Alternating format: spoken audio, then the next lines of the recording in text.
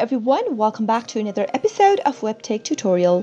Today, I'm going to be walking you through how to send a fax on your Gmail. Keep watching the video till the end and don't forget to subscribe to our channel by hitting the subscribe button. Press the notification bell icon so that you'll never miss another update from us. In order to send a fax on Gmail, the first thing you'll need is a Gmail account and also an online fax number. Go open your Gmail application or simply open up your Gmail on your web browser and sign into your account if necessary. Once you're logged into your Gmail, you'll need to go ahead and choose a web-based fax company for your account. And once you're logged into your Gmail account, go to the top left corner and click on the Compose button with a plus in it, and you'll be able to see that you've opened up new message pop-up window. Into the to text field, where you'd normally enter an email address, type in the destination fax number.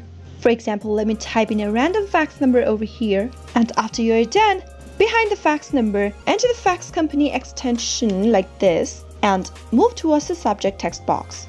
Type in the subject for your fax.